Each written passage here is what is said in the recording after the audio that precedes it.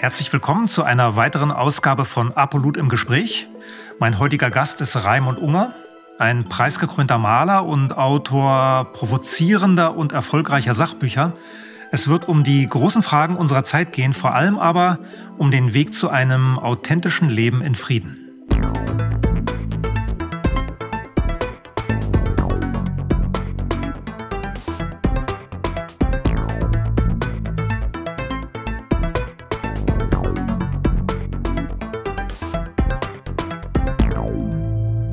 Gespräch.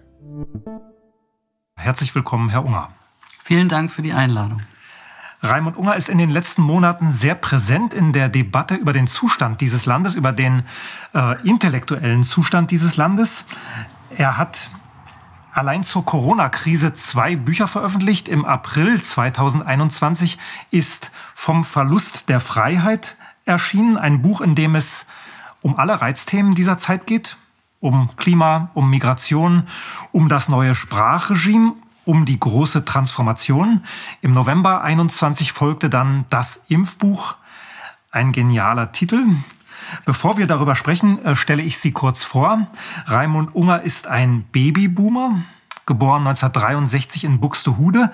Die Generationsangabe ist wichtig, weil sich das Thema Kriegsenkel wie ein roter Faden durch sein Werk zieht. Das, was traumatisierte Kinder des Zweiten Weltkriegs, ihre Eltern, meine Eltern, viele andere, ihren Kindern nicht bieten konnten. Das Stichwort heißt hier transgenerationales Kriegstrauma. Raimund Unger hat dazu eine Familienbiografie geschrieben, Heimat der Wölfe und ein Buch über seine Heldenreise, über seinen Weg vom Autodidakten zu einem anerkannten Künstler. Man muss dazu wissen, dass Raimund Unger eine Ausbildung als Therapeut hat, dass er eine Praxis hatte und eine Dozentur für Naturmedizin und sich erst spät in eine Kunstszene bewegt hat, die von Akademikern geprägt ist, von Menschen, denen Ästhetik, und eine These wichtiger sind als der Blick nach innen, als die Arbeit mit dem eigenen Schmerz. Vorläufiger Höhepunkt dieser Heldenreise, dieses Weges, war der Lukas Kranach-Preis 2011, ein internationaler Kunstpreis vergeben von der Stadt Kronach. Das ist der Geburtsort von Lukas Kranach dem Älteren. Raimund Unger hat dort den ersten Sonderpreis bekommen und war so endgültig interessant auch für Sammler. Trotzdem oder vielleicht gerade deshalb hat er angefangen, Bücher zu schreiben. Noch nicht erwähnt habe ich Die Wiedergutmacher, ein Buch von 2018, das das deutsche Nachkriegstrauma mit der Flüchtlingsdebatte zusammenbringt. Herr Unger, warum schreibt ein Maler ein Impfbuch? Warum haben Sie ein Impfbuch geschrieben? Ja, erstmal vielen Dank für diese tolle Vorstellung. Ähm, da war ja wirklich alles drin.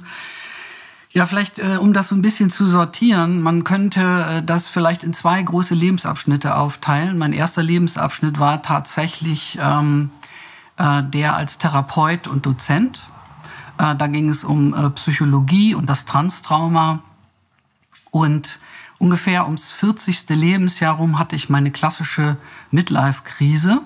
Und danach habe ich nochmal die Weichen vollkommen neu gestellt. Ich habe die Dozentur in Hamburg aufgegeben, ich habe meine Praxis aufgegeben und bin nach Berlin gegangen, und, um mich äh, als Maler, der ich schon lange war, aber natürlich nicht professionell, dann in Berlin ernst zu nehmen.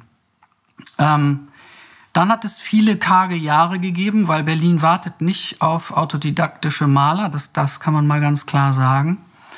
Ähm, aber eigentlich war die Beschäftigung mit Kunst und Malerei ähm, äh, das, was es auch schon vorher war, die Beschäftigung mit, mit Psychologie und Medizin. Es war natürlich immer eine Reise zu mir selbst, um zu gucken, ähm, warum bin ich, wie ich bin. Und was hat das mit meiner Herkunft zu tun? Was hat das mit meinen Eltern zu tun? Und letzten Endes auch, was hat das mit dem erwähnten Kriegstrauma zu tun? Um die Frage nochmal zu beantworten, warum schreibt jetzt ein Maler plötzlich ein Impfbuch? Das ist natürlich ein Riesenbogen.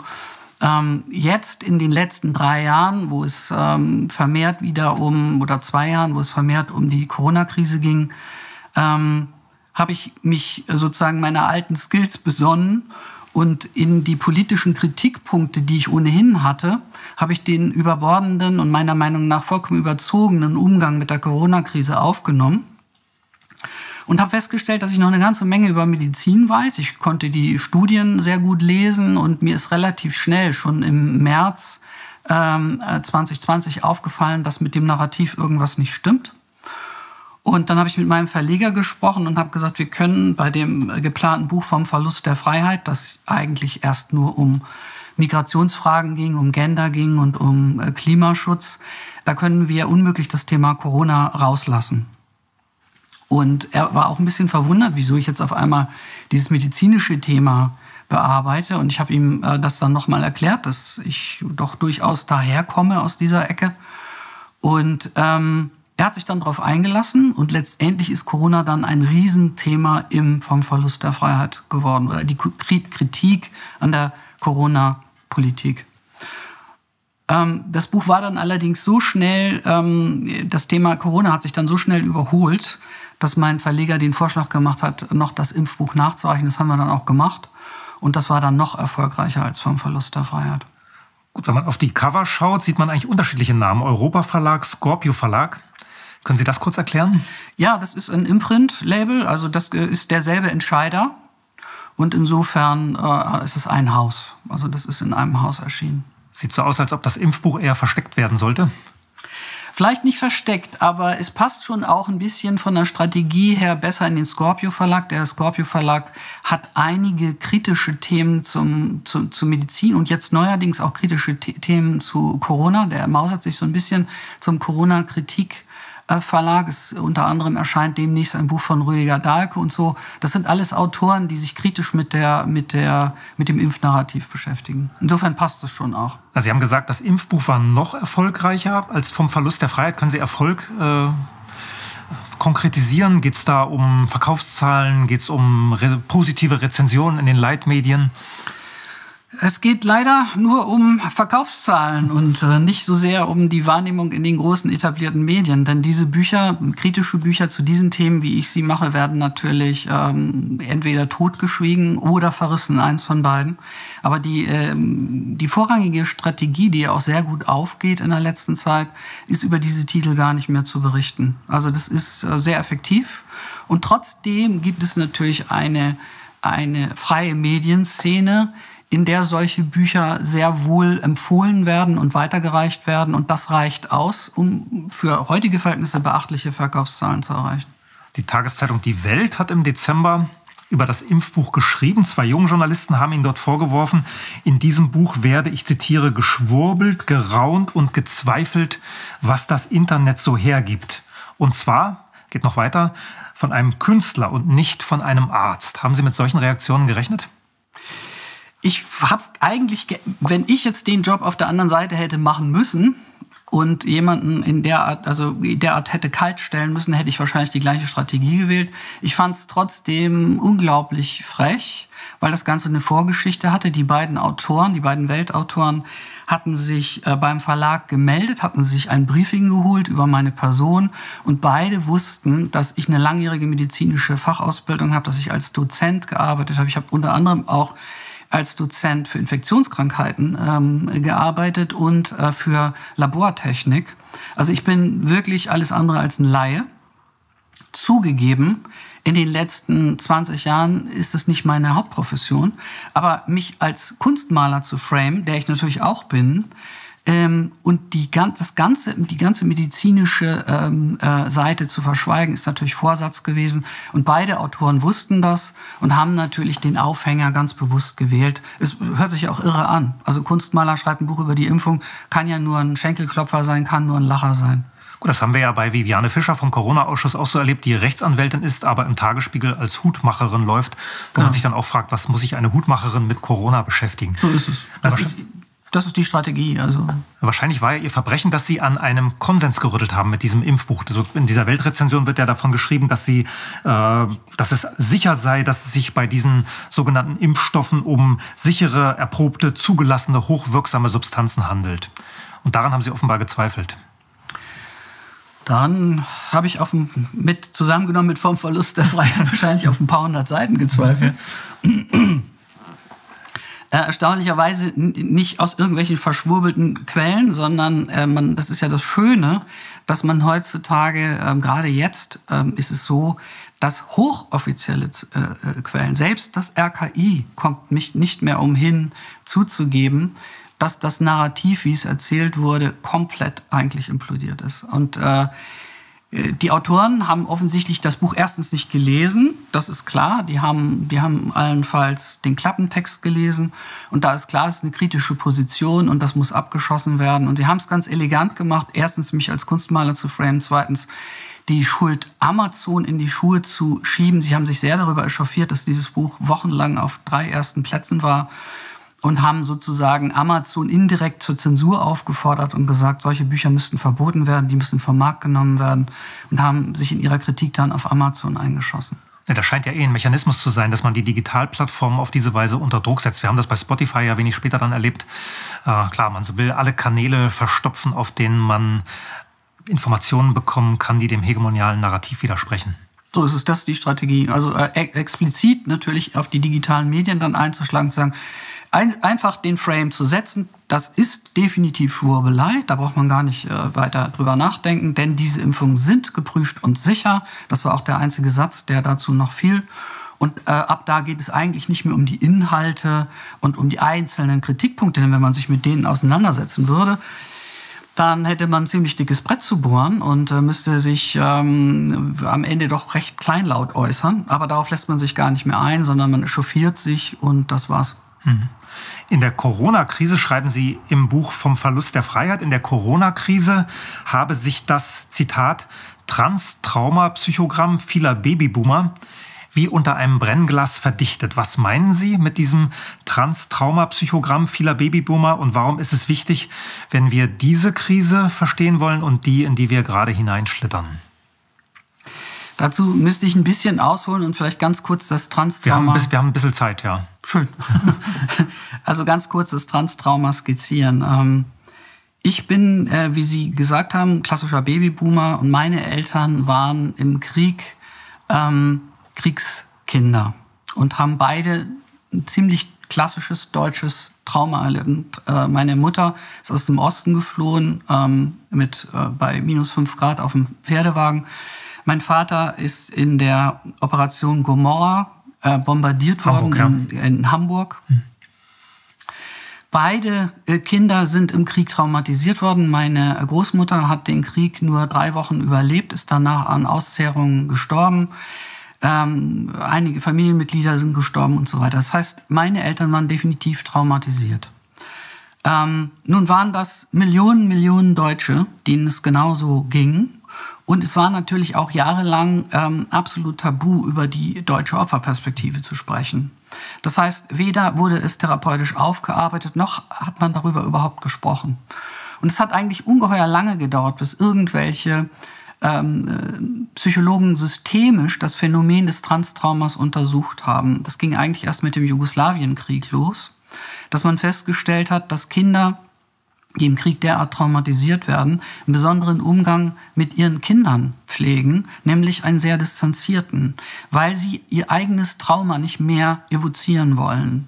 Und die Kinder, also die Folgegeneration, die von derart distanzierten Eltern erzogen wird, neigt dazu, sich selbst in Frage zu stellen, weil diese unverbrüchliche Liebe und Zuwendung, die Eltern normalerweise für ihre Kinder aufbringen können, so nicht gegeben werden konnte.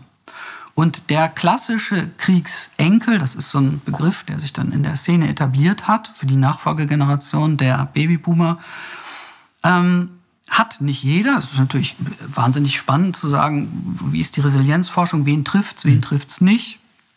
Aber einige haben ein psychotypisches Psychogramm entwickelt, der Selbstinfragestellung, wo es darum ging, immer zu sagen, bin ich richtig, ist das richtig, was ich fühle? Viele haben sich nicht binden können, konnten keine Beziehungen eingehen. Viele haben Studium abgebrochen, neue Studiengänge angefangen, waren unstet, haben sehr verspätet Karriere gemacht. Das heißt, es gibt verschiedene Punkte, die man beforscht hat, was diese Kinder, die in dieser Selbstinfragestellung aufgewachsen sind, an verzögerter Entwicklung hatten. Und bezeichnenderweise hat man jahrelang, als das Thema aufkam in der Literatur, also der Europa Verlag beispielsweise hat, glaube ich, neun oder zehn Titel zum mhm. Thema gemacht, unter anderem ein Buch von mir, wo es genau um dieses Thema geht, die Heimat der Wölfe. Mhm. ähm, hat man jahrzehntelang von einem Defizit gesprochen. Das heißt, es ging immer darum, was hat diese Generation, was fehlt dieser Generation?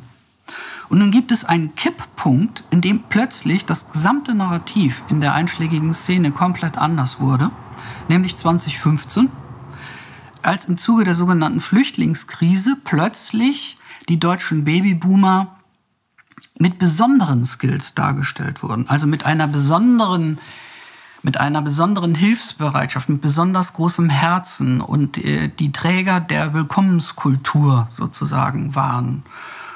Was offensichtlich auch so war. Das heißt, also, es gab ganz viele, die ähm, die ganzen Zielkonflikte, die, mit, äh, die, die man heute jetzt bespricht, besprechen darf, mhm. die durfte man 2015 nicht erwähnen und auch nicht besprechen. Ähm, diese ganzen Zielkonflikte wurden nicht mitgedacht und es galt einfach ein Jahr lang der Rausch der Willkommenskultur, getragen von den Kriegsenkeln.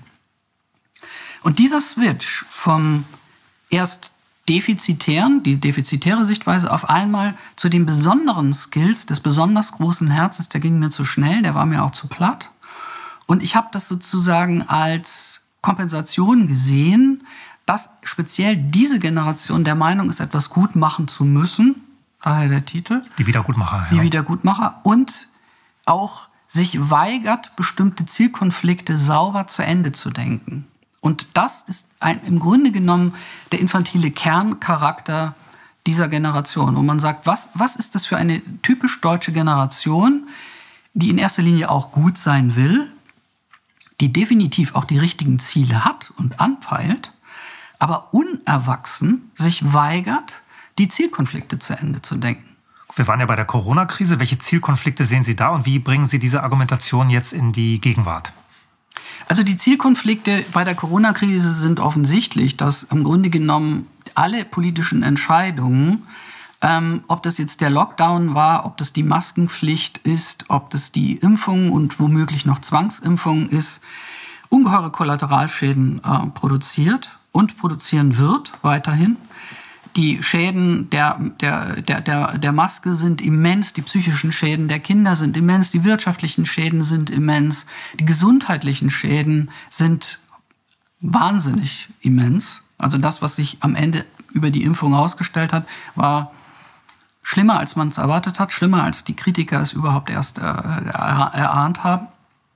Das heißt, es gibt eine endlose Reihe von Zielkonflikten, die, wenn man sie zu Ende gedacht hätte, erwachsen, und wenn man von Anfang an eine offene Debatte zugelassen hätte mit Wissenschaftlern, die von Anfang an kritisiert haben, und das waren renommierteste, ehrbarste Wissenschaftler, ähm, wenn man die Debatte zugelassen hätte und wenn die Medien nicht versagt hätten, wenn das beides passiert wäre, hätten wir die Krise so nicht gehabt und wir hätten auch diese Kollateralschäden nicht gehabt. Und der Grund, dass das derart an die Wand gefahren wurde und derart ignoriert wurde, hat mehrere Aspekte, aber mein Aspekt, den ich eben in den vorgegangenen Büchern schon beschrieben habe, ist unter anderem das Transtrauma. Sie haben gerade gesagt, wenn man das Erwachsen zu Ende gedacht hätte. Da klingt der Vorwurf mit, Babyboomer sind bis heute Kinder geblieben oder habe ich es falsch verstanden?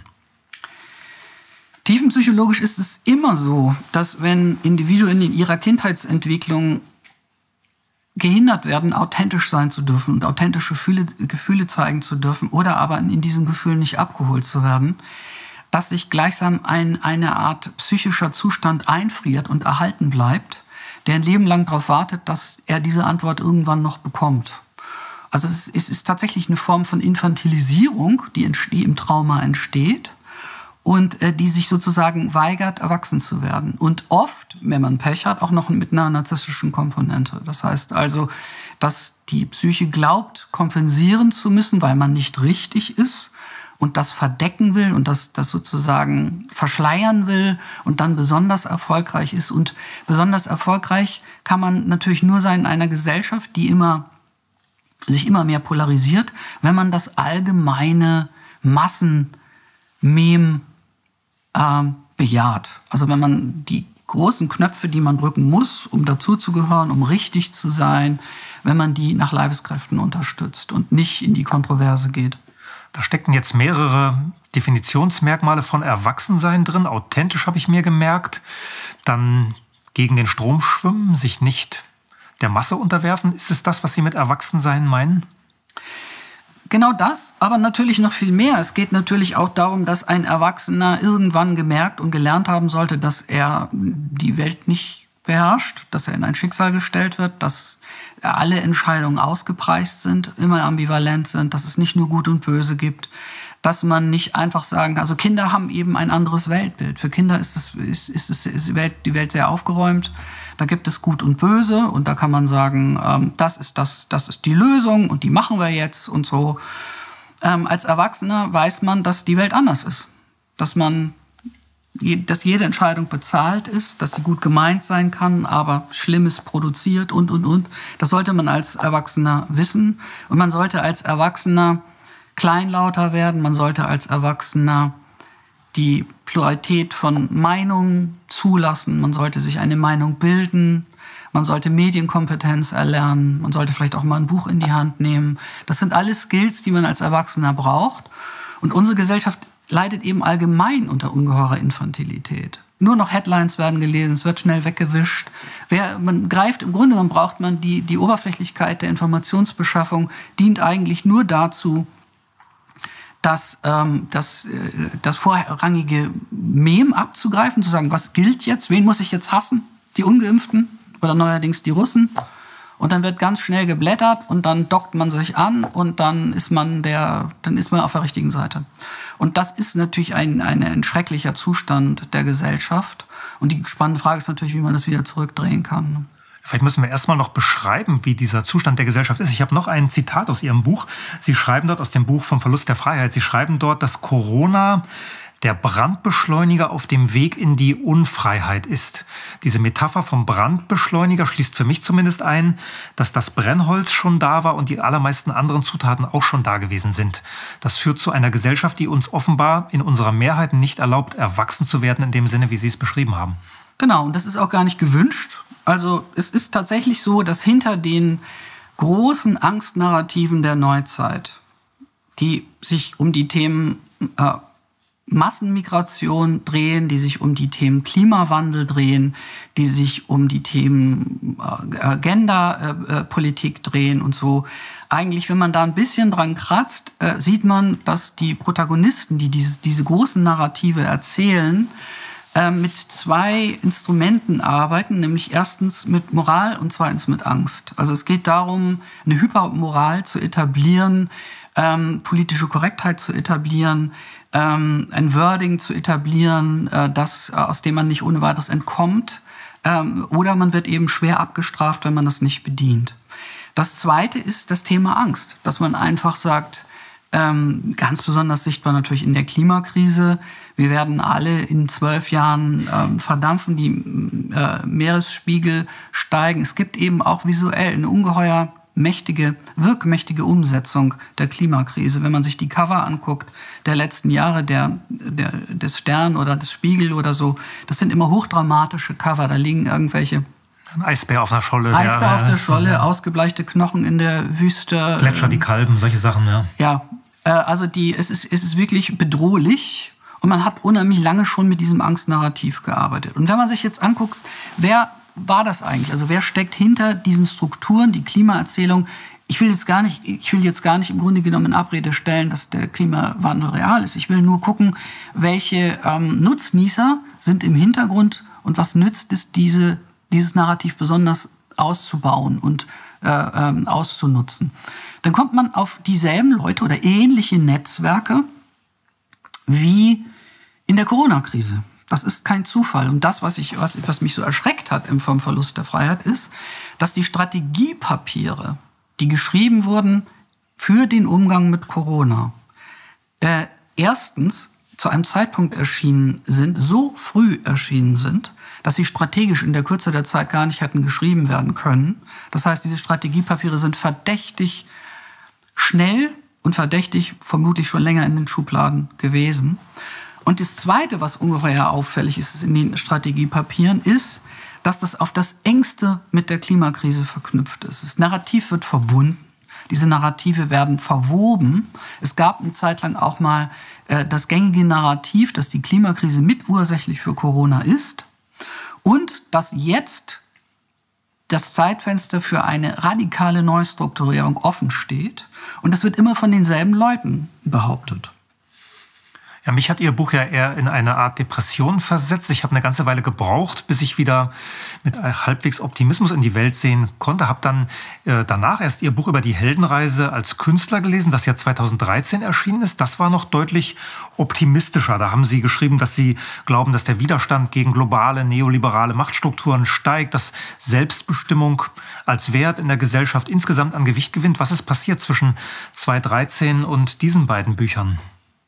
2015 und äh, alle Folgejahre danach. Und ähm, ich muss es ja zugeben, ich habe ich hab, ich hab bis 2013, glaube ich, noch ein bisschen geschlafen und ich habe die, ich hab die, den Vorsatz und die Strukturen, die im Grunde genommen hinter diesen Narrativen stehen, unterschätzt.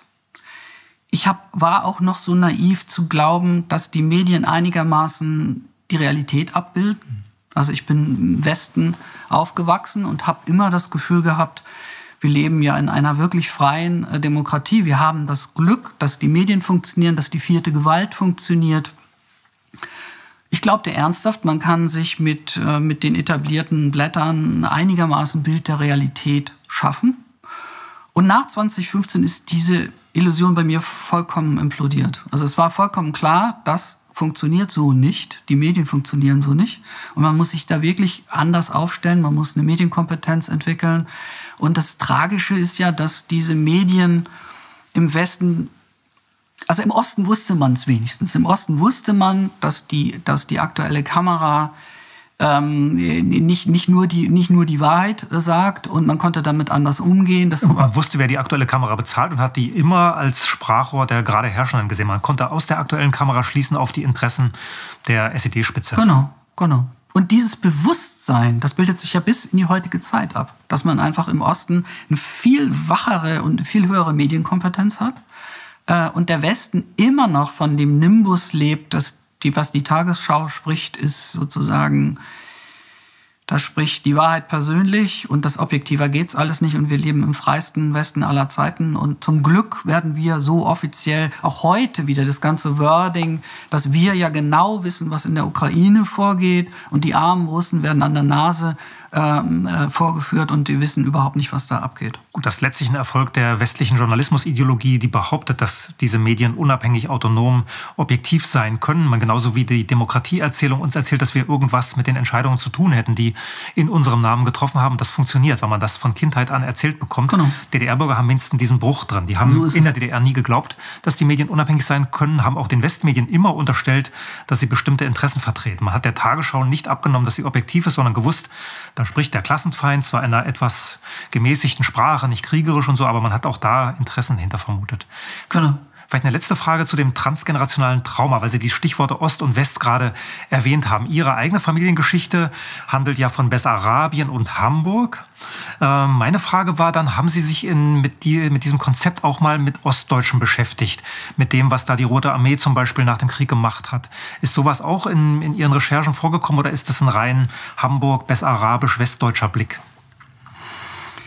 Also es ist schon sehr west, also das ist schon, das muss, den Vorwurf muss ich mir gefallen lassen. Das äh, ist ein sehr westdeutscher Blick. Das ist so. Und ich habe auch festgestellt, dass wenn ich damals Lesungen gemacht habe mit Die Heimat der Wölfe, ähm, äh, und das Publikum war teilweise gemischt und äh, äh, Teile kamen aus dem Osten, dass das aus dem Osten anders wahrgenommen wird. Und auch, dass dieses, dass dieses Trauma, das ich ja auch ausformuliere als besondere Schuldneurose, also im Sinne, dass der Westen sich besonders schuldig fühlt, ähm, dass das im Osten nochmal vollkommen anders wahrgenommen wurde und dass der Osten bei weitem nicht diese Schuldneurose hat wie der Westen weil die Verdrängung dort ja noch stärker war. Man durfte ja nichts erzählen, was dem großen Bruder, äh, dem Freund in der Sowjetunion irgendwie schaden konnte. Das stimmt, aber das Narrativ, das offizielle Narrativ war eigentlich erstmal, dass man zu den Guten gehört hat, dass der Klassenfeind mhm. und die Nazis alle außen sitzen und man selber äh, gar nicht so sehr diese, diese, diese, diese Dauerschleife der Schulddebatte hatte wie im Westen. Während im Westen eigentlich schon von Anfang an ähm, äh, sozusagen diese, diese Schulddebatte gelaufen ist. Es ist ein anderer, ein anderer ähm, Umgang gewesen. Und ähm, viele haben ja auch gesagt, ein, ein ostdeutscher äh, Analytiker hat mir immer gesagt, wir haben ähm, irgendwie so lax, ich kriege den Satz nicht mehr zusammen, aber sinngemäß, wir haben unsere Schuld abgesessen oder irgendwie okay. sowas, ja. Also im Sinne, wir haben unsere Schuld bezahlt oder so, ja. Und ähm, es ist, es ist, ähm, es ist ein anderer Umgang damit. Und ich muss mir gefallen lassen, dass, ähm, dass meine, meine Sicht natürlich westlich ist, ne? In, in Bezug auf das Thema. Das heißt also, Publikum aus dem Osten ist nicht so angesprungen auf die Heimat der Wölfe. Das kann man nicht sagen, weil das Individualschicksal ähm, also äh, ja durchaus auch teilweise geteilt wird. Ich meine, man muss sich die Zusammensetzung der Bevölkerung im Osten mal angucken, wie viel hm. der Flüchtlingsanteil hm. war. Ich meine Freundin selbst äh, ist, kommt aus dem Osten, die ist in Schwerin geboren. Ich habe dadurch natürlich ungeheure Einblicke in, in, die, in die ganzen Ostfamilien äh, und kann, kann sagen, ähm, das ist eben auch ein Flüchtlingsschicksal gewesen. Hm. Ähm, das ist, ähm, äh, da gibt es ungeheure Parallelen. Es ist nicht so, dass, dass man als Ostdeutscher automatisch mit diesen Thesen nichts anfangen kann. Ja klar, vielleicht hat man im Rückblick sich, äh, vielleicht denkt man im Rückblick, okay, wir haben das halt erduldet, diese 40 Jahre in etwas weniger Wohlstand zu leben, das reicht aus als Bezahlung. Ja. So ungefähr. Ja, denkt mal. Mhm. Äh, zu einem anderen Thema wollte ich gerne kommen, noch zu, zu, zum Thema Kunst. In Ihrem, in Ihrem Buch äh, schreiben Sie, dass es in Deutschland wegen des Autoritätsglaubens kaum resiliente Kräfte geben würde, die sich supranationalen Organisationen widersetzen. Warum gibt es so wenig Widerstand aus der Kunst?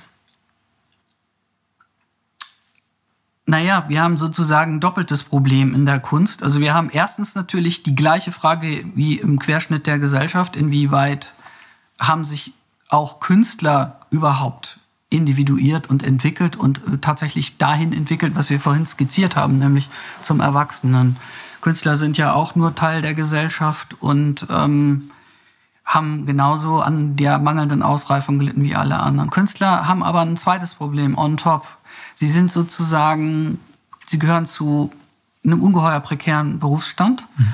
Etwas Ähnliches haben Sie ja selbst mal beschrieben über Journalisten.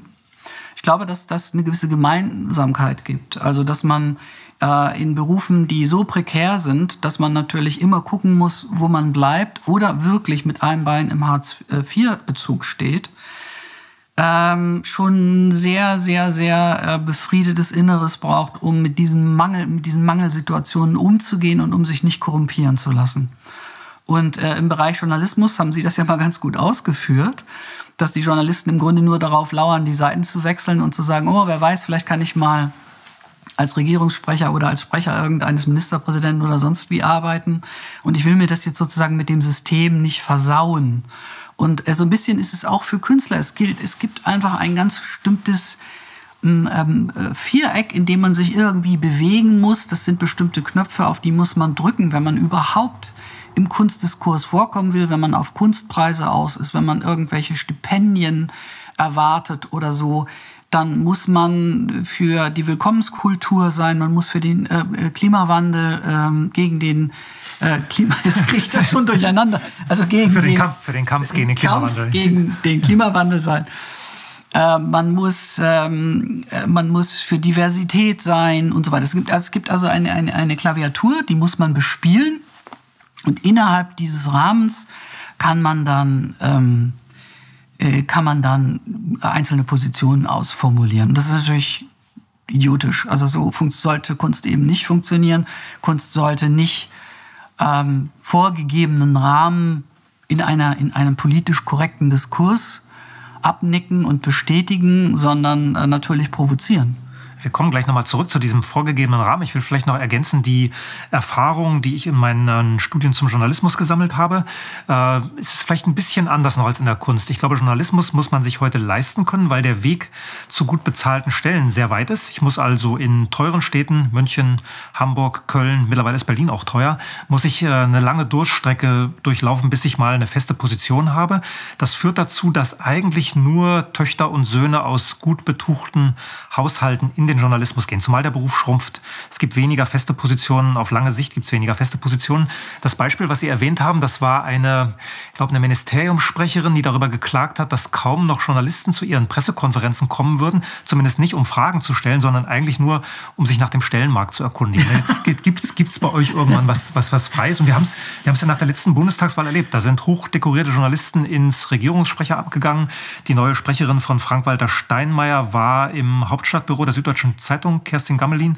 Der alte Sprecher ist zurück zum NDR. Da haben wir also richtig so einen Drehtüreffekt, der zwischen äh, Regierungsseite und Journalismusseite führt. Also ich glaube auch in Rheinland-Pfalz war so ein Beispiel, dass drei von vier Landeskorrespondenten der Tageszeitung in relativ kurzer Zeit in verschiedene Ministerien als Sprecher gingen. Da gibt es also ja.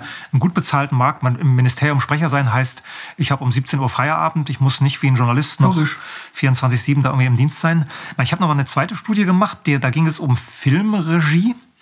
Und da war letztlich der gleiche, vielleicht sogar noch ein stärkerer Effekt zu beobachten wie im Journalismus. Auch Filmregisseure in Deutschland haben einen sehr gut betuchten Hintergrund. Auch da muss man sich leisten können, über Jahre an einem Projekt zu arbeiten, bis man mal eine Förderung bekommt, bis man so ein Projekt mal zu Ende bekommt. Man den ersten Film drehen alle, aber dann den zweiten, den finanziert zu bekommen, ist schwierig. Deswegen brauche ich Leute, die mich finanzieren. Das ist gerade ja bei ihrer Art, Kunst zu machen, als Einzelkämpfer anders als in diesen, in diesen Bereichen, wo man sehr viel Geld dahinter braucht. Auch einen Film, das ist einfach, wenn er gut werden soll, ein Millionenbudget. Sie kommen wahrscheinlich mit 30, 40.000 Euro Jahresbudget aus, um ihr Atelier zu bezahlen, ein bisschen Farbe und Leinwand zu kaufen, rumzutouren, Ausstellungen zu machen. Das ist also wahrscheinlich günstiger zu haben. Ja, ich finde, ein bisschen ist gut. Also wenn man, wenn man, wenn man sich, ich habe ja jahrelang als Juror gearbeitet für den äh, äh Berliner Berufsverband BBK. Und ähm, am Ende habe ich, die, hab ich die Kommission geleitet und das ist eine Kommission, die entscheidet darüber, ähm, wer in den BBK aufgenommen werden soll, äh, der kein akademisches Kunststudium hat. Also Aber normalerweise mit, mit, Studium wird man automatisch aufgenommen. Mit Studium braucht man eigentlich nur einen formalen Antrag stellen okay. und ist automatisch im Berufsverband. Aber es gibt natürlich auch Autodidakten, die sehr professionell arbeiten. Und dafür gibt es eine Kommission, die prüft, ob es sich wirklich um einen professionellen Künstler handelt. Und da war ich der Juror. Und äh, wenn man diese Arbeit macht, sieht man erstens, dass ähm, Akademiker nicht unbedingt bessere Künstler sind als Autodidakten. Das davon mal ab.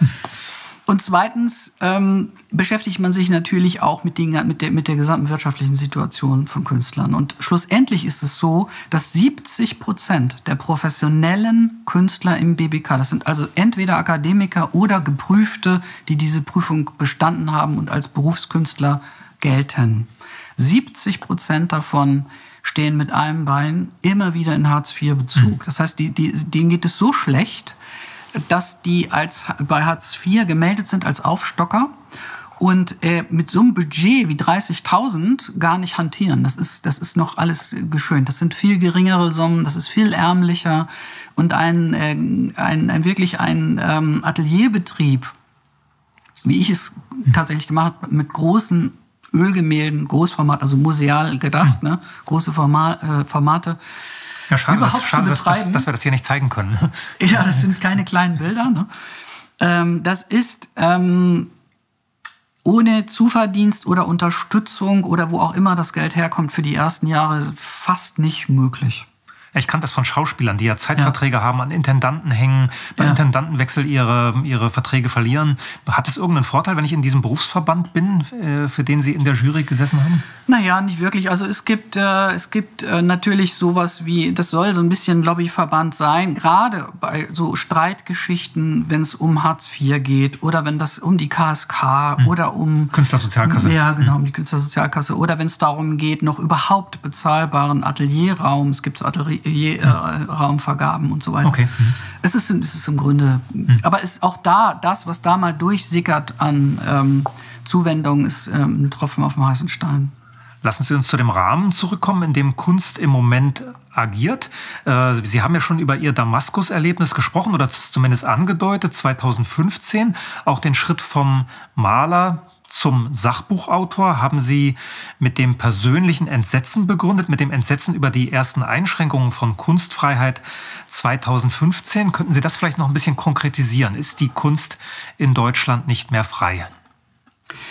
Ja, ich habe, das ist im Grunde genommen schon vorher, also um das nochmal klarzustellen, die, äh, das Damaskus-Erlebnis im Sinne der Bewusstheit über den Zustand der Medien, den hatte ich ja wirklich erst 15. Mein Buch ist ja Jahre davor, äh, das Künstlerbuch ist Jahre davor geschrieben worden und da geht es tatsächlich erstmal, zunächst mal um äh, die Wahrnehmung des Quereinstiegs in den etablierten Kunstmarkt, also wie hermetisch der Kunstmarkt ist, aber ich muss dazu sagen natürlich immer aus Perspektive eines bildenden Künstlers und ehemaligen Therapeuten. Mhm. Das heißt also, ich habe das, das ist ein sehr psychologisches Buch und ähm, Und ich habe sozusagen sondiert, wie es überhaupt möglich ist, in diesen etablierten Kunstmarkt reinzukommen. Und da habe ich dann eben festgestellt, was ich eigentlich für ein antiquiertes Kunstverständnis als Autodidakt hatte. Also dass mein Kunstverständnis tatsächlich offensichtlich aus der, aus, noch aus der Moderne oder sogar aus der Romantik stammt, jedenfalls nicht zeitgenössisch ist, weil mein selbstverständliches Kunstverständnis war, dass man äh, sich selbst erfahren muss, dass es eine Art Selbsterfahrungstrip ist, dass man nach innen geht, dass man versucht, sich zu individuieren, dass man authentisch ist, dass man vielleicht schmerzhafte Bereiche bearbeitet oder so. Und ich habe dann festgestellt, dass es in der etablierten Kunstszene eigentlich Schnee von gestern ist. Also da geht es um vollkommen andere Positionen, es geht um taktische Positionen, es geht um Konzept, es geht um kluge Positionen, es geht im Grunde genommen, wenn man es ein bisschen zynisch ausdrückt, äh, um kluge Insiderwitze, die man hm. sich erzählt die man auch nur versteht, wenn man zur Szene gehört und wenn man Kunst studiert hat. Da hängt dann eben eine Socke, die wird an die Wand genagelt. Das ist ein wahnsinniger Brüller. Und das ist ungeheuer tiefsinnig tatsächlich, wenn man das entsprechende Booklet dazu liest und sich da in das Konzept eingelesen hat. Aber der gemeine Besucher, der, der findet jetzt das nicht besonders witzig. Der sagt, da, da hängt eine Socke an der Wand, so what. Ne? Das ich kann hab, ich auch. Ne? Ich habe ein schönes Zitat mir gemerkt aus einem ihrer Bücher. Gute Kunst muss, ein, muss mir ein Geheimnis über mich selbst verraten als Betrachter. Und genau. Die Socke an der Wand würde mir wahrscheinlich jetzt kein Geheimnis über mich selbst verraten. Möglicherweise ja doch, aber man müsste es sehen. Man müsste also sehen. Die, äh, die, die tatsächlich das, was ich als Kunst empfunden habe und auch immer noch nach wie vor als Kunstideal habe, ist nämlich genau das, dass man, dass man als Betrachter was erlebt, ähm, ohne sich vorher in ein 30-seitiges Booklet eingelesen zu haben. Bei Konzeptkunst ist das aber oft nicht der Fall. Es gibt allerdings auch wirklich gute Konzeptkunst, die redundant funktioniert, die unheimlich opulent ist, die was mit den Gefühlen macht, wenn man auf einer Dokumenta ist und man liegt unter einer Riesensonne oder was auch mhm. immer. Das heißt, da haben wir den doppelten Boden, da gibt es ein ungeheures Konzept und man hat aber auch ein sinnliches Erleben. Mhm. Aber es gibt eben unheimlich viel Konzeptkunst, die, die wird von Leuten verspottet. Also wie Mike Krüger, der dann solche Sprüche macht, so ist das Kunst oder kann das weg? Das ist so dann so das, was im Volksmund daraus gemacht wird. Und das ist auch ein bisschen beabsichtigt. Das ist ein bisschen so, dass man auch, dass akademische Kunst auch ganz bewusst den Freiheitskampf der Kunst dahingehend geführt hat, nicht mehr verstanden werden zu wollen. Das führt nochmal zurück zu der Freiheit der Kunst. Ich glaube, dieses Zitat mit dem Schritt vom Maler zum Sachbuchautor, das ist im Verlust der Freiheit drin, dass sie also entsetzt waren 2015 über erste Einschränkungen der Kunstfreiheit. Also nochmal die Frage, ist die Kunst in Deutschland nicht mehr frei? Jenseits dieser Feldstrukturen, die Akademiker bevorzugen, was wahrscheinlich auch wieder mit Juryzusammensetzungen zu tun hat, mit den Geldgebern zu tun hat, mit den Erwartungen, die es dort gibt. Ja, natürlich ist die Kunst nicht mehr frei. Es gibt, es gab ja äh, letztes oder vorletztes Jahr einen äh, Aufruf von Gunnar Kaiser an Milos Matocek äh, zum, zum äh, Boykott der Cancel Culture. Ja, den habe ich sogar auch unterschrieben ich als auch, erster. Ja, ich auch. Ich war auch. Ach, ja. Also waren wir beide ja, erst unterzeichnet. Ja. Und da, äh, da, wird, da wird ja im, im, im Fahrwasser dieses Aufrufs werden ja ganz viele tagespolitische konkrete Beispiele aufgezählt wer als Künstler nicht mehr geht, wer gecancelt wurde, was abgehängt wird, was man alles nicht mehr machen darf und kann. Und äh, das bezieht äh, alle möglichen Bereiche mit ein, die ich vorhin aufgezählt habe. Ob das jetzt äh, Diversität ist, ob das angeblicher Sexismus ist, was mir zum Beispiel vorgeworfen wurde. Äh, bei Wegen den Bildern, ne? Ja, natürlich. Ja. Also es gibt Bildserien von mir, die kann ich heutzutage nicht mehr ohne weiteres aufhängen. In Museen oder in Galerien? Nein, die sind, die habe ich offline gestellt. Also die Ach so, aus dem Internet, die, okay. Ja, ja, ja, ja. Aber die hängen bei irgendeinem Sammler, der sie gekauft hat? Äh, teilweise ja. Ja. Mhm, teilweise ja. Mhm. Aber das sind eben Sachen, die würden, wenn die jetzt sozusagen, ja, die würden im heutigen, in der heutigen Wahrnehmung als sexistisch gelten, ganz klar.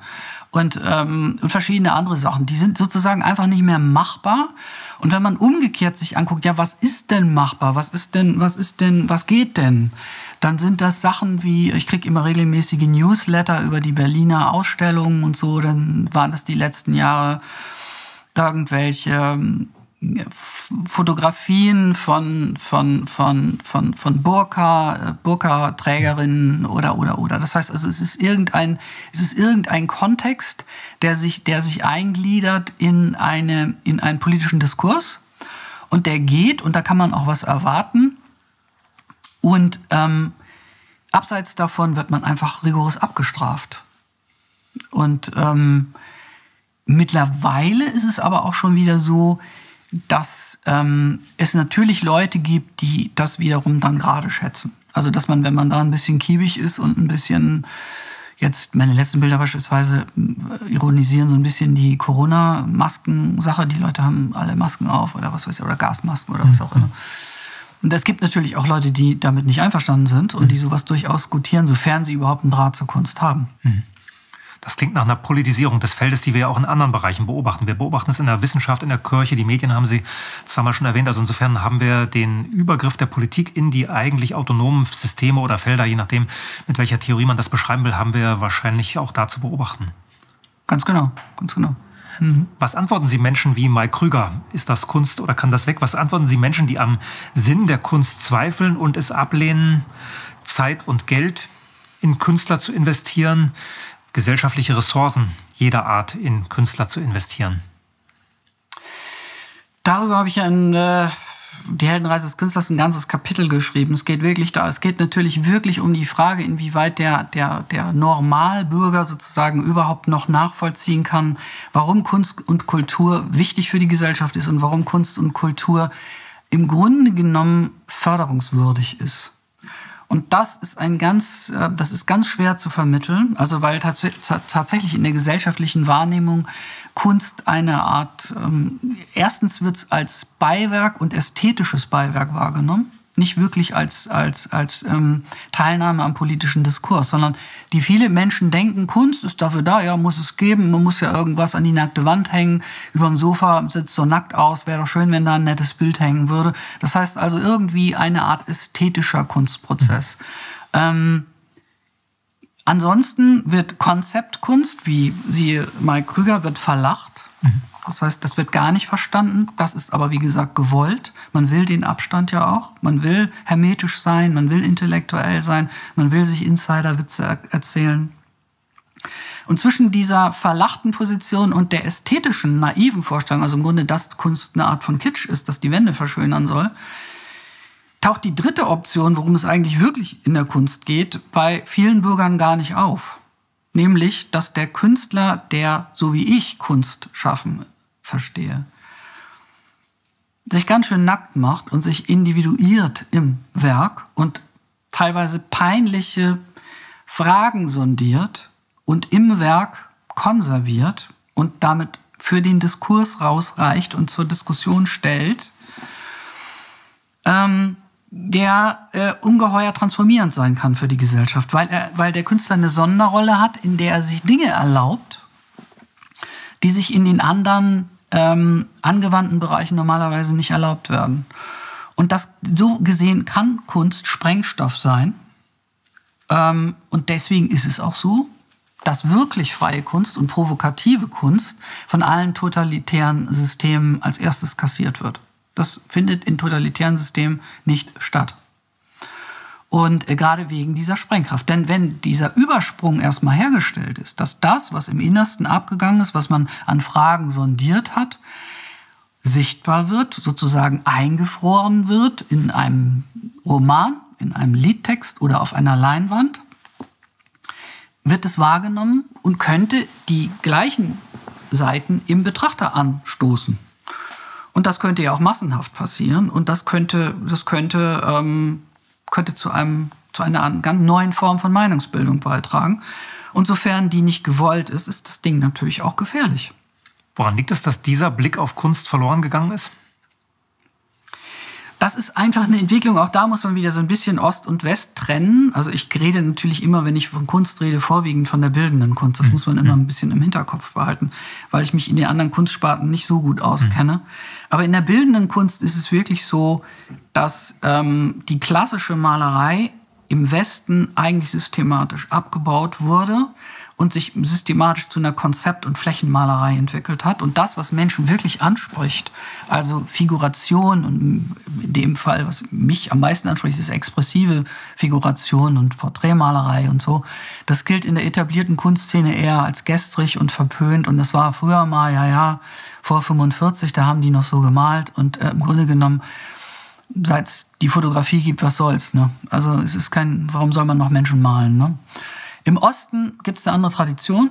Im Osten war figurative Malerei immer hoch angesehen, wenn Klar, auch im, im sozialistischen Realismus. Ja, ja, aber es sind gute Sachen dabei rausgekommen. Es wurde im Grunde genommen sind tolle Sachen erhalten geblieben, auch im expressiven, schnellen Farbauftrag. Ähm, so Bilder von Heisig und so, die sind ja jetzt nicht fotorealistisch gemalt. Alte Leipziger Schule, ja. Alte Leipziger Schule, da, da, da, das macht ja was mit einem. Das heißt, ähm, man hat die Nachvollziehbarkeit des dynamischen Prozesses des Farbauftrags im Werk eingefroren. Man, es ist ein ungeheuer mutiger Ausdruck. Und das ist eine vollkommen andere Geschichte. Die ist nämlich emotional zugänglich. Ne?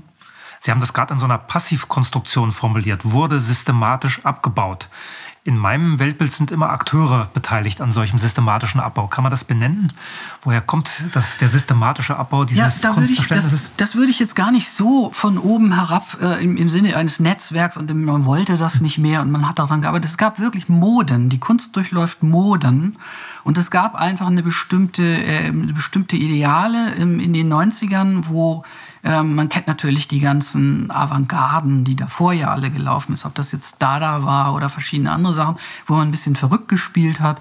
Und die Kunst war eigentlich immer auf der Flucht äh, vor der Gesellschaft und auf der Flucht vor Vereinnahmung und hat immer versucht, wir machen jetzt noch was Verrückteres und nochmal und wir legen nochmal einen drauf und jetzt darf es aber wirklich auch keiner mehr verstehen und am Ende ist man irgendwie bei der Konzeptkunst angelangt. Und es gab einfach bestimmte Moden im Westen, die anders gelaufen sind als im Osten und über diese Moden ähm, hat sich auch die Malerei, sofern Malerei war sowieso abgesagt ist, wenn man in Anfang 2000 dann durch irgendwelche Kujen gegangen ist auf den Ausstellungen oder Kunstmessen, dann waren die Kujen mit Flachware, wie Bilder so nennen, ähm, die waren absolut in der Unterzahl. Und wenn man überhaupt Kujen mit Bildern gefunden hat, dann waren das lang, jetzt sage ich lang, jetzt bewerte ich das schon, aber für mich relativ langweilige Flächenmalerei oder konkrete Kunst. Ne?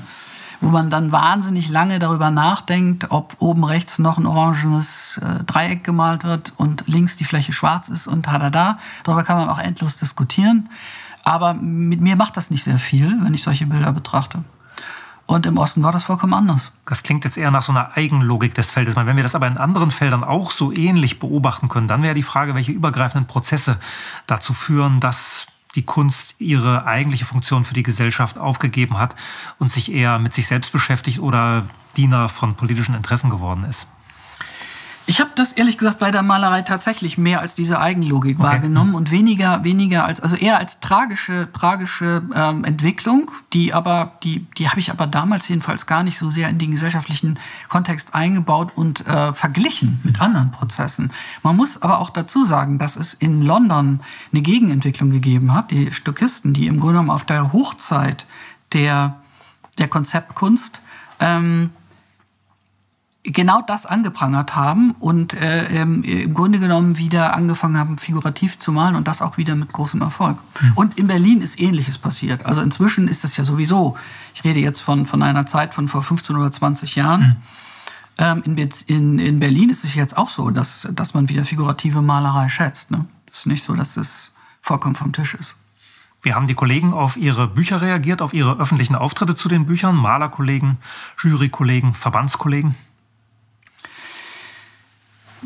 Das hat sich immer mehr ausgedünnt, umso politischer die äh, Bücher wurden. Also auch ignoriert. Äh, das erste Buch natürlich nicht. Das war, das war ja noch eine direkte, eine direkte. Die Heldenreise ist das Die Heldenreise erste. des Künstlers. Das war natürlich noch ein direkter, ein direktes Sondieren der Kunstszene.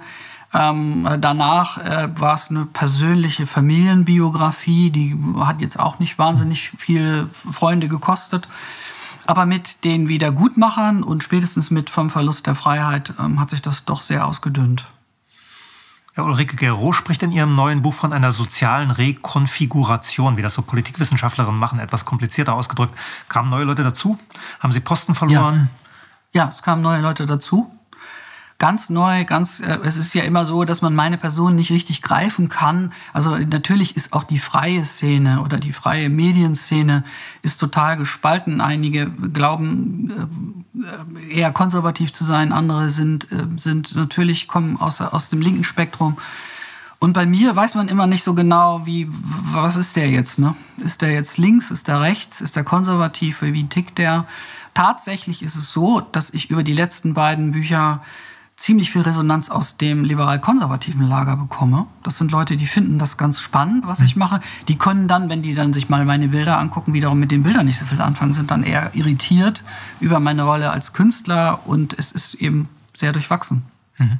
Können Sie diesen Leuten eine Hilfestellung geben? Wie sind sie zu verorten? Wo greift man sie am besten? Ich habe es inzwischen aufgegeben. Ich glaube auch, dass diese Rechts-Links-Verortungen äh, überwachsen werden müssen, dass uns das nichts nützt, dass es äh, eher dazu dient, Menschen zu spalten und auseinanderzutreiben.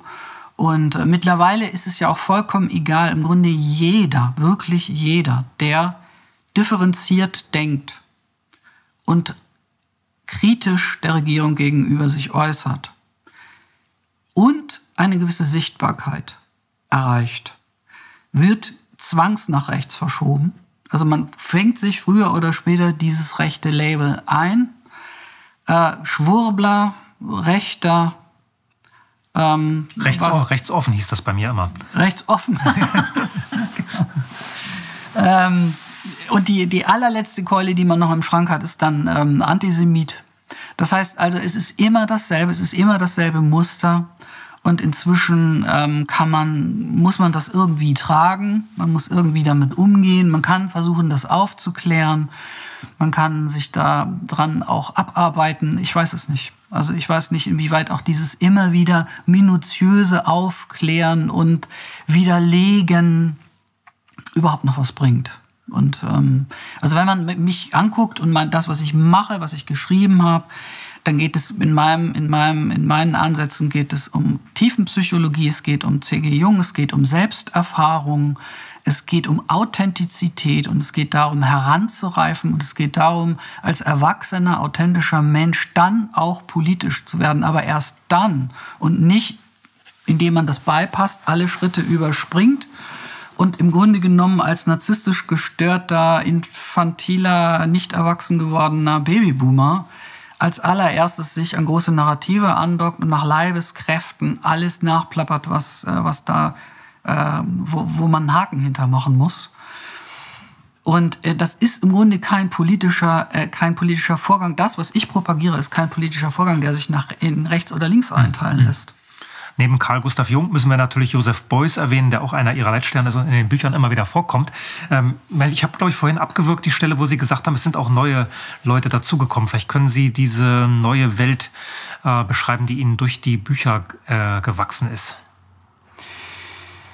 Naja, allein schon durch die Medien, in denen ich mich rumtummel oder für die ich auch zum Teilweise ja auch schreibe oder so, das sind alles Leute, mit denen hätte ich früher nie was zu tun gehabt. Mhm. Also nehmen wir jetzt die Achse oder nehmen wir Roland Achse Tichy. Ist gut, ja. Ach gut.com, ja. Ja, ähm, das sind alles Leute, die, die ähm, eher ja eben auch konservativ ticken, die eher ähm, oder liberal-konservativ ticken und so. Und wo es wirklich Schnittpunkte gibt, wo man wirklich sagen muss, hätte ich nicht gedacht, da gibt es wirklich Schnittpunkte, weil diese Kritikpunkte, in dem Moment, wo ich anfange, politisch zu argumentieren, äh, werden diese Schnittpunkte natürlich groß. Das sind, äh, das sind äh, dieselben Leute, die äh, die Gender Studies ähm, äh, kritisieren. Das sind dieselben Leute, die diese, die diese Energiewende äh, kritisieren. Das sind dieselben Leute, die die Migrationsbewegung ähm, äh, kritisiert haben und so weiter. Das, da gibt es eben Schnittmengen. Das mhm. ist ganz natürlicherweise so. Und auch kluge Leute.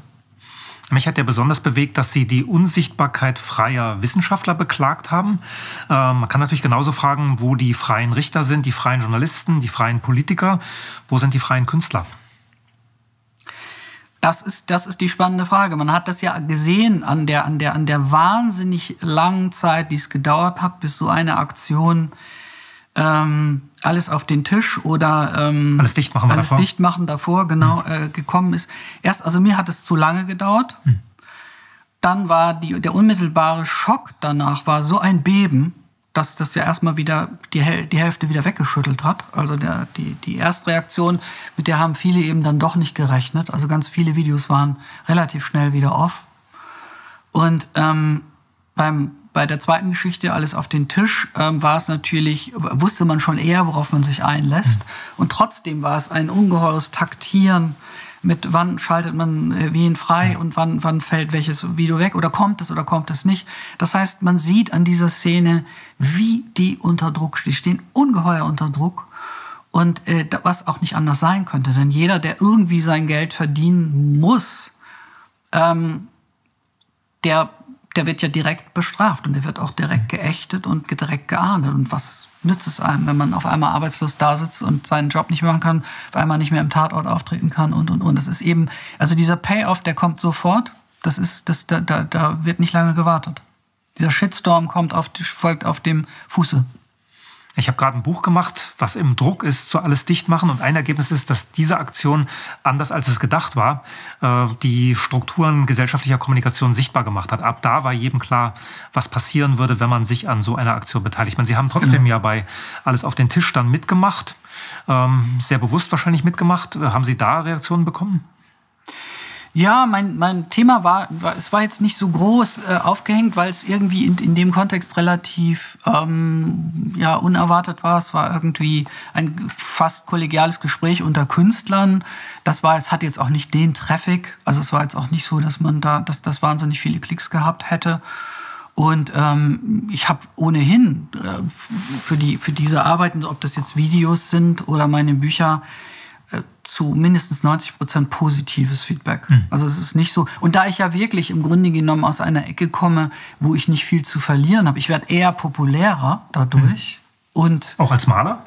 Auch als Maler. Mhm. Auch als Maler. Obwohl es so ist, wie ich, wie ich ja eingangs schon sagte, dass das äh, dann auch ein, ein Nischenthema ist und so. Es gibt aber auch Menschen, die einigermaßen klar denken können und die sich durchaus für Kunst interessieren. Aber das ist natürlich trotzdem nicht so, dass meine Bücher direkt meine Malerei befruchten würden. So ist es nicht. Aber ein paar sind eben doch dabei, die dann irgendwie mal gucken.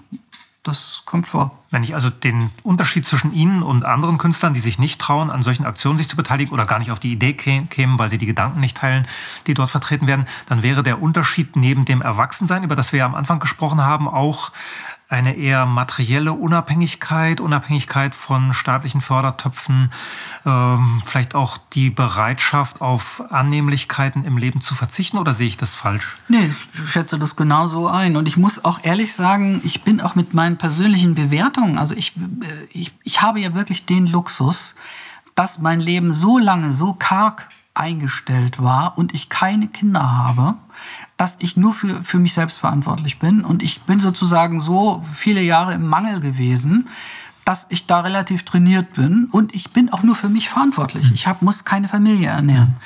Und ich stelle mir wirklich vor, was wäre passiert. Ich kann so gesehen, kann ich relativ radikal sein. Ja. Also man kann mir schwer drohen im Sinne von, man kann mich nicht rausschmeißen. Ich bin komplett selbstständig. Ich verdiene mein Geld selbst mit den Sachen, die ich mache. Ich bin da sehr authentisch unterwegs. Und ich muss, wie gesagt, niemanden ernähren. Ich bin nur für mich verantwortlich. Und wenn ich mich aber in die Lage versetze, ich bin Familienvater und ich habe mehrere Kinder und ich bin bin Künstler mit Leib und Seele und ich will auch wirklich davon leben und ich muss meine Familie ernähren, da stellen sich so andere Fragen und so, es sind so andere Zugzwänge. Das möchte ich gar nicht zu Ende denken. Ich dachte eigentlich immer, dass auch der in kargen Verhältnissen lebende Künstler hofft, irgendwann im MoMA zu hängen. ja, das ist ja eine andere Frage, ja. dass man, dass man noch hofft, man würde noch dieses oder jenes ja. oder den oder jeden Karrieresprung zu machen oder so. Ähm, aber ich bin ehrlich gesagt, wenn man sich die gesamte Bandbreite anguckt, wo Künstler eigentlich stehen und die, das, die im Promillbereich wirklich die ein, zwei Prozent die es richtig gut geht, die mhm. also so in den sogenannten Reseller-Markt kommen und die über Auktionshäuser gehandelt werden und so weiter. Das ist ein absoluter Promillbereich. Reseller ist der Sammler Reseller kauft und der, verkauft ist der, wieder. ist der wieder, der wieder, da wo dann wirklich mit den Bildern Geld gemacht wird. Okay. Ähm, das sind, das ist, das ist, das ist, ich weiß nicht, sind wahrscheinlich nicht mal ein Prozent oder das mhm. ist im Null-Komma-Bereich. Und die Künstler, die überhaupt, wo man sagen kann, die haben das Ding rund, die können davon leben, die sind nicht reich, die sind auch nicht super berühmt, aber die können davon leben. Das sind vielleicht auch nur die oberen 5%. Und der Rest ist, ähm, äh, muss das Geld im Taxi verdienen oder sonst wo. Das ist bei den Sachbüchern ja auch nicht so viel anders. Äh, wer soll Ihre Bücher lesen? Warum schreiben Sie? Wahrscheinlich nicht hauptsächlich wegen Geld oder ist das ein Zusatzverdienst? Also die letzten Titel sind schon, also da sieht man, oder ich sehe jetzt da das erste Mal so ein bisschen Geld durchaus, okay, okay, okay. weil die Titel laufen wirklich gut.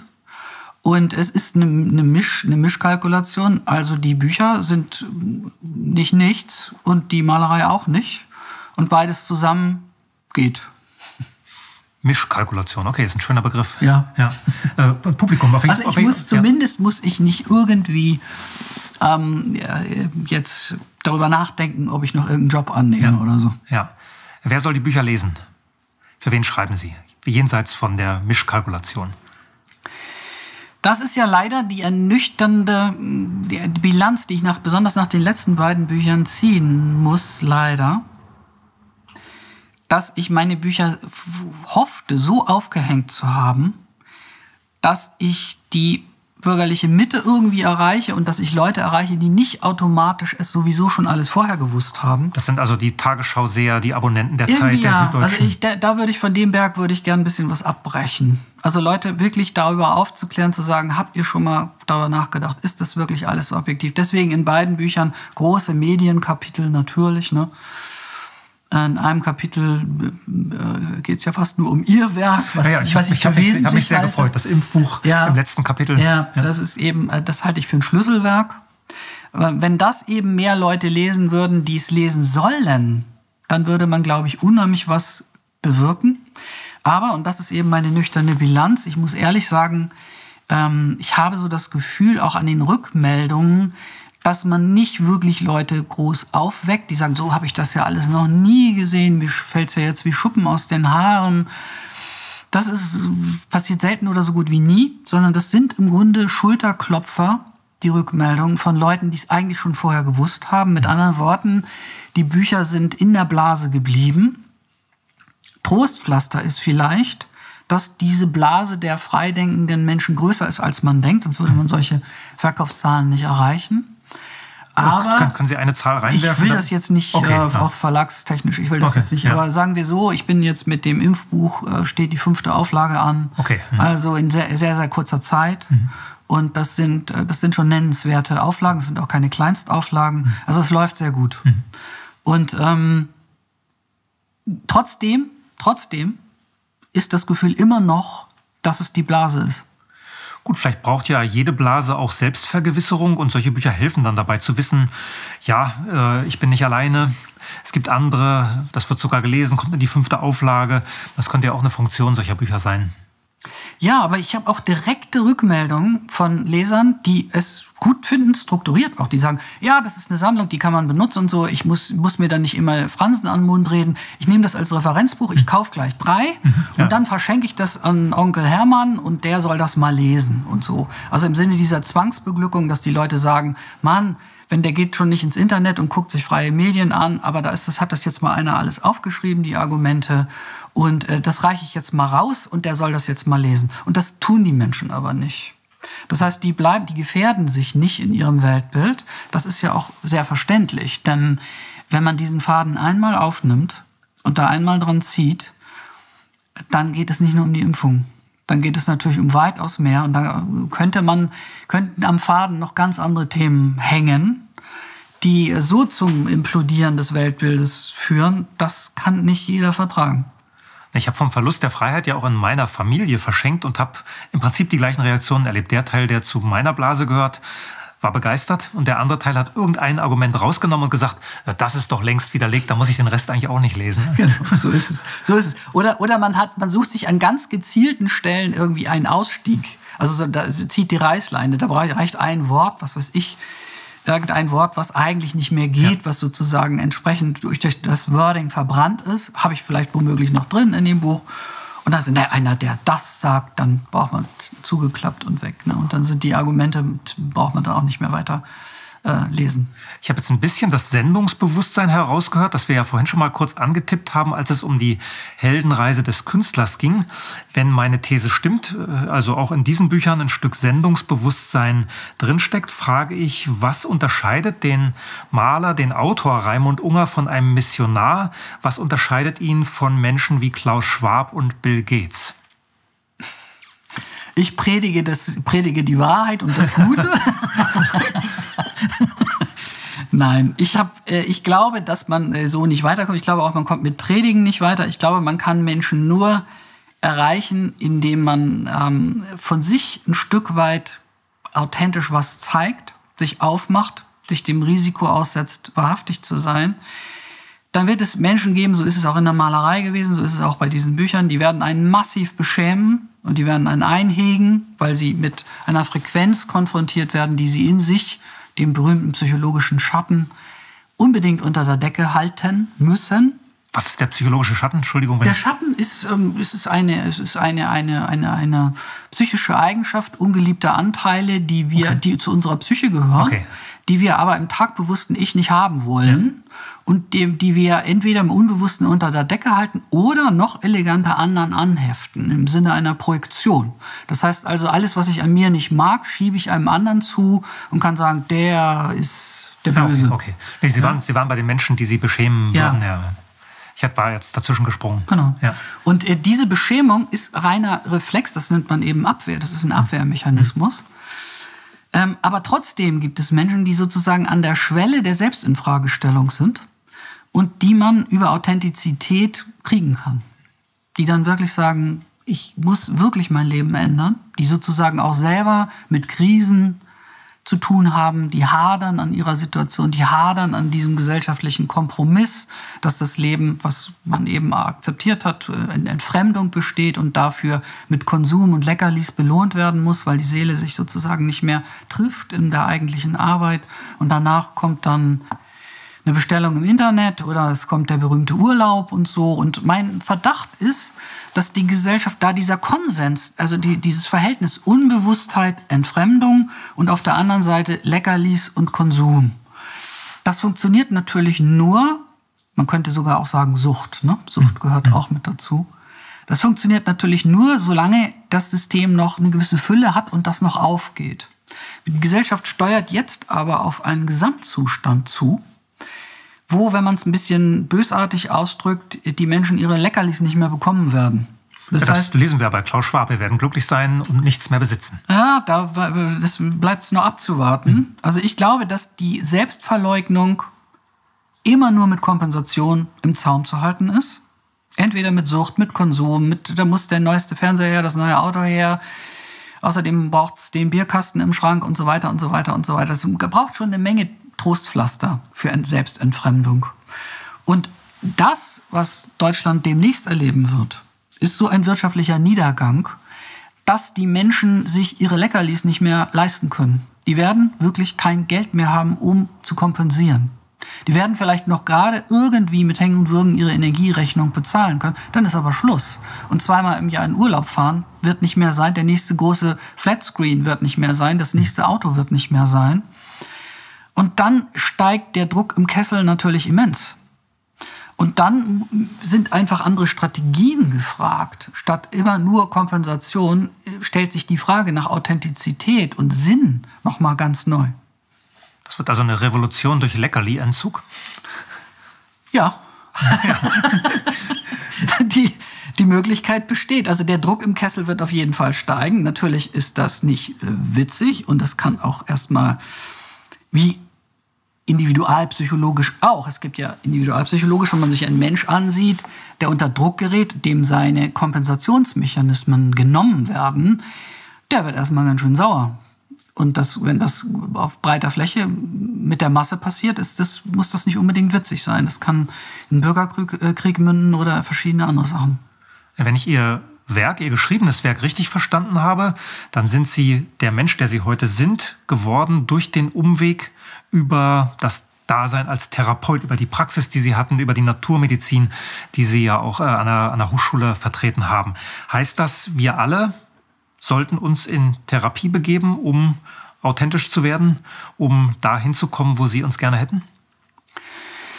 Ja, man muss das nicht Therapie nennen, weil das ist zu hochgehängt und zu abschreckend. Aber im Grunde ja. Also es ist tatsächlich so, dass ich glaube, dass dieser Prozess der Selbstwerdung und letzten Endes die Sinnfragen zu befrieden und tatsächlich rauszufinden, wer man, was man als menschliches Wesen noch leisten muss außer Existenz. Also Eugen Brewermann hat mal sinngemäß gesagt, ähm, die bloße Existenzabsicherung und Gen, Gen, Nestbau und Gene weitergeben reicht für den Menschen nicht aus. Das ist so. Hm. Das heißt, diese Fragen, die normalerweise wirklich erst jenseits der 40 gestellt hm. werden, um die kommt man nicht rum oder man muss sie wahnsinnig kompensieren. Man muss sozusagen die Lebenskrise, die irgendwann jedem droht, mit all diesen Sinnfragen, die mit über 40 mit drei Ausrufezeichen gestellt werden, die muss man wirklich mit Kraft unter der Decke halten oder man muss sie beantworten. Man muss irgendwie sich dieser Sinnfrage stellen. Was soll das Leben? Weil über die 40 winkt der Tod. Man kann den Tod nicht mehr so raushalten, wie man ihn vorher raushalten konnte. Man hat bei mir war es jedenfalls so, äh, eine lebensbedrohliche Erkrankung durchgemacht, man hat nahe Angehörige verloren, Lebensbeziehungen sind auseinandergegangen. Das heißt, man ist wirklich mit brutal mit Verlust konfrontiert worden. Und diese Verlustfragen, die schreien so nach einem Sinn und so nach einer Antwort, dass man ohne diesen Weg der, des, des Helden, ja, also das ist ja auch nur ein Helden, der, der Held ist ja nur der Mythos des Menschen, der sich diesen Sinn, seinen mhm. Drachen oder seinen mhm. Hunden unterm Bett oder so stellt. Mhm. Und der wirklich diese Sinnfragen sondiert und der sich traut, mal in den Keller zu gucken, was er da für Hunde die ganze Zeit eingesperrt hat. Wie John Bradshaw sagen würde, der berühmte amerikanische Therapeut. Wenn ich Sie schon hier sitzen habe, muss ich natürlich fragen, wo ich diese Art von Selbstkonfrontation als Nichtmaler am besten finde. Ich glaube, dass das ähm, Kunst im weitesten Sinne ein, Königsweg ist. Mhm. Für mich war es wirklich der absolute Königsweg, der mir natürlich auch ein bisschen von familiär mit in die Wiege gelegt wurde, weil mein Onkel war ja Kunstmaler und ich bin auf dem Hof meines Onkels aufgewachsen und habe da früh Kunst und Malerei kennengelernt. Ähm, ich glaube aber, das muss nicht Kunst sein. Es gibt ähm, überhaupt sich aufzumachen und die Wirklichkeit nicht mehr so einseitig wahrzunehmen, äh, eine Medienkompetenz zu entwickeln, einen Gesprächskreis zu suchen, sich zu trauen, sich zu offenbaren, vielleicht erstmal nur im kleinen Kreis, wie es einem wirklich geht, sich vor sich selbst ehrlich zu machen und Lebensfragen ehrlich zu beantworten. Will man wirklich noch in diesem Job bleiben? Will man wirklich noch mit diesem Partner zusammenbleiben? Traut man sich das mit 40 nochmal sich zu trennen oder den Job zu wechseln?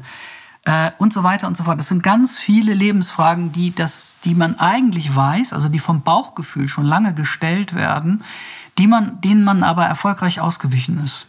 Und wenn man die aber angeht und sozusagen diesen Kampf mit dem Drachen aufnimmt, dann wird es nicht morgen gleich, wird man nicht morgen im Paradies sitzen.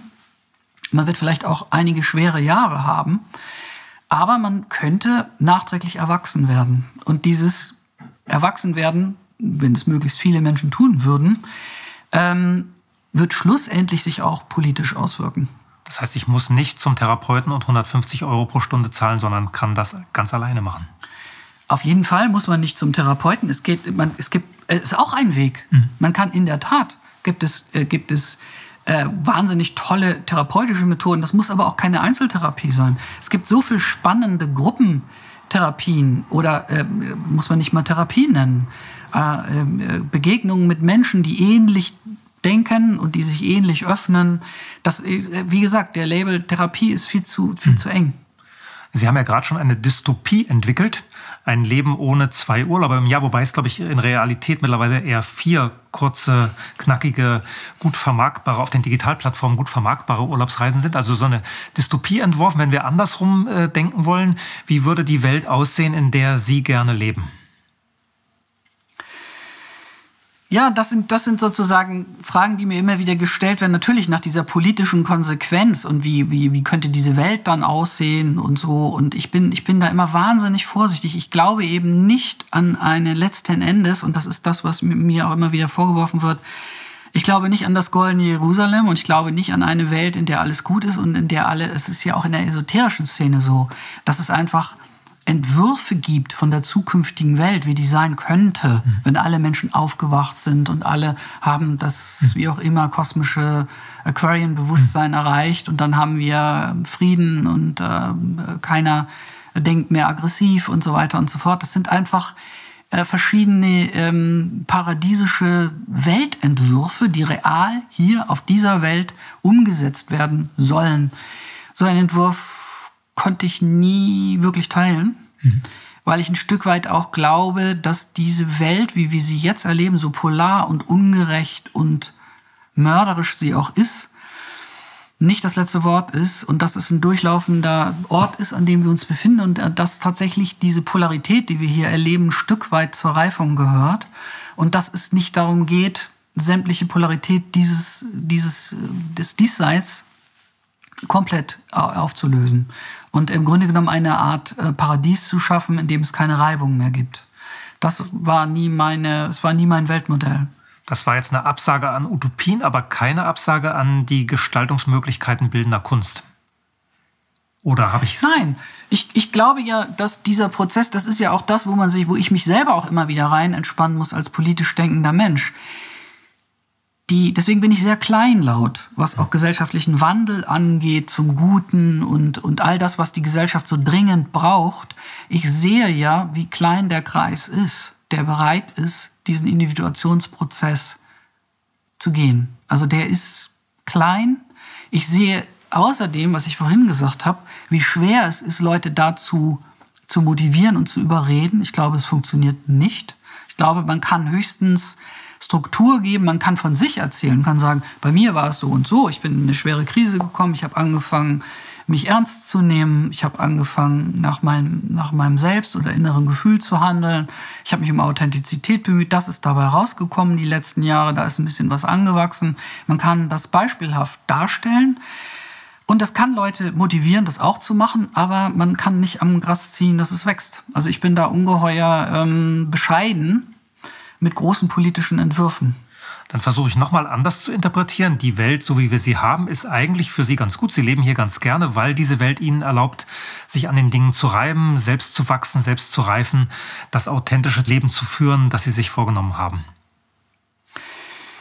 Diese Welt ist weniger schmerzhaft, umso authentischer man irgendwie unterwegs ist. Äh, ganz gut ist sie nicht, natürlich.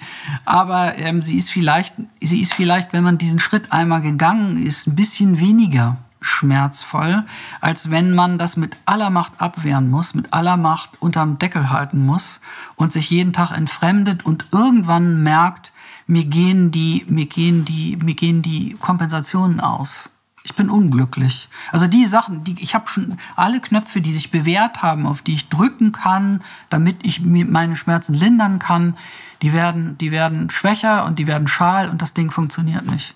Und äh, da tatsächlich diese, diese grundsätzliche Positionsveränderung vorgenommen zu haben, zu sagen, ich mache dieses ganze Spiel nicht mehr mit, ähm, erzeugt erstmal einen gewissen Frieden. Mhm. Aber das heißt nicht, dass dann alles gut ist und man ähm, nur noch happy ist oder so. Das Leben ist, bleibt anstrengend. Gut, Frieden ist auch ein besserer Begriff als Glück. Frieden hält länger als dieses kurzlebige Glück genau. zu fassen ist. Meine letzte Frage zielt in eine fernere Zukunft. Ähm, was bleibt von Raimund Unger? Was sollte bleiben, wenn Sie Einfluss darauf hätten, was bleibt?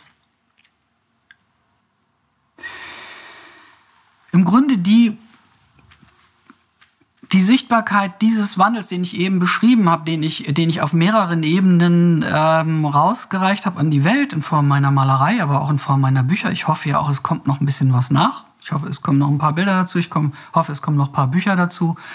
Aber selbst wenn es jetzt vorbei wäre, dann glaube ich, dass, die, dass ich einer von, ich habe, glaube ich, sogar in Heldenreise des Künstlers habe ich mal eine ganze Reihe von Namen angeführt, hm. von ähm, Helden, hm. Künstlern, äh, in deren Reihe ich gerne stehen würde. Nämlich Menschen, die sich persönlich individuiert haben, die authentisch waren, die authentische Kunst geschaffen haben, die authentische Romane geschrieben haben, die Menschen zum Nachdenken angeregt haben. Und in so eine Rolle reinzuwachsen, also ich würde es nicht wagen, mich jetzt als letzten Namen in diese Reihe zu stellen, aber in so große eine Namen. große Namen. Ja.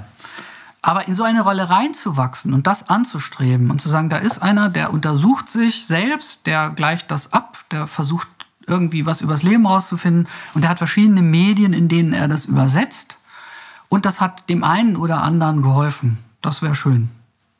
Das war ein großartiges Schlusswort. Vielen Dank, Raimund Unger. Äh, das war eine weitere Ausgabe von Apolut im Gespräch. Bleiben Sie uns gewogen.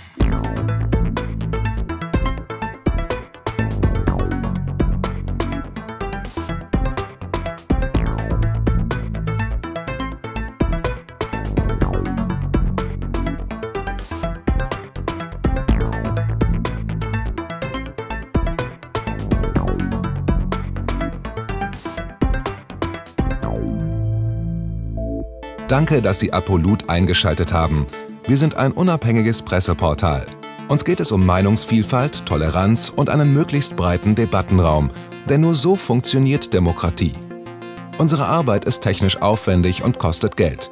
Da Sie immer wieder hier sind, unterstützen Sie Apolut am effektivsten mit einem Dauerauftrag. Mehr Infos auf apolut.net/unterstützen. Apolut ist keine Einbahnstraße. Lassen Sie uns in Kontakt bleiben. Abonnieren Sie den Apolut Newsletter, so verpassen Sie nichts. Registrieren Sie sich auf apolut.net/newsletter. Natürlich gibt es Apolut auch als App.